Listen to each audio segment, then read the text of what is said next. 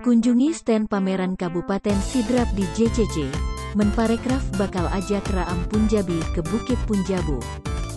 Menteri Pariwisata dan Ekonomi Kreatif, Menparekraf, RI, Sandiaga Salahuddin Uno, menghadiri pameran pembangunan desa di Jakarta Convention Center, JCC, Sabtu, tanggal 10 September tahun 2022. Wisata Bukit Punjabu menyuguhkan keindahan alam yang sangat mempesona, dan kerlap-kerlip lampu-lampu di malam hari itu berada di wilayah timur Kabupaten Sidrap. Lokasinya berada di ketinggian 527 meter dari permukaan laut dengan jarak 3 km dari Kampung Buntu Buangin, dan 147 km dari ibu kota Pangkajene, Sidrap. Diketahui, wisata Bukit Punjabu di Desa Buntu Buangin, Kecamatan Pitu Riase, Kabupaten Sidrap meraih juara dua dalam Lomba Promosi Desa Wisata Nusantara, LPDWN.